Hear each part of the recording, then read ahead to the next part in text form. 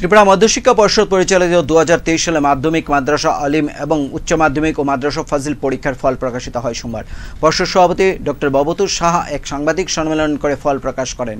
তিনি জানান, এবছর মাধ্যমিক পরীক্ষায় মোট পরীক্ষার্থীর সংখ্যা ছিল আটত্রিশ হাজার একশো উনত্রিশ জন। পাশের হার ছিয়াশি দশমিক শূন্য দুই শতাংশ। এবছর উচ্চ মাধ্যমিক পরীক্ষায় মোট তেত্রিশ হাজার চারশো বাহান্ন জন পরীক্ষার্থী পরীক্ষা দিয়েছিল। পাশের হার ছিল তিরাশি হাজার চব্বিশ শতাংশ। তিরাশি দশমিক চব্বিশ শতাংশ। মাধ্যমিক পাশের হার গতবারের তুলনায় এবছর কিছু বাড়লেও উচ্চ মাধ্যমিকের পাশের হার অনেকটাই কমেছে।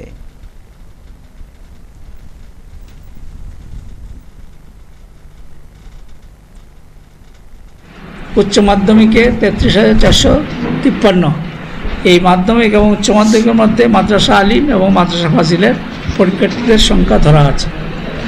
মাধ্যমিক, উচ্চ মাধ্যমিক পরীক্ষার নথিভুক্ত বিভিন্ন শ্রেণির পরীক্ষার্থীর সংখ্যা সারণী দিয়ে দেওয়া আছে। মাধ্যমিক হচ্ছে রেগুলার, ছত্রিশ হাজার চারশো উনপঞ্চাশ কন্টিনিউইং তিনশো ছিয়ানব্বই। কম্পার্টমেন্টাল হাজার বায়ান্ন প্লাস ওয়ান এক্সটার্নাল দুশো একত্রিশ। টোটাল হচ্ছে আটত্রিশ হাজার একশো উনত্রিশ হায়ার সেকেন্ডারি তেত্রিশ হাজার একানব্বই। কন্টিনিউং তেহাত্তর। Compounder seventy five plus nine external একশো একানব্বই। সিঙ্গেল সাবজেক্ট দুইজন ইকুইভ্যালেন্স দশজন ইমপ্রুভমেন্ট একজন। মোট তেত্রিশ হাজার চারশো বাহান্ন।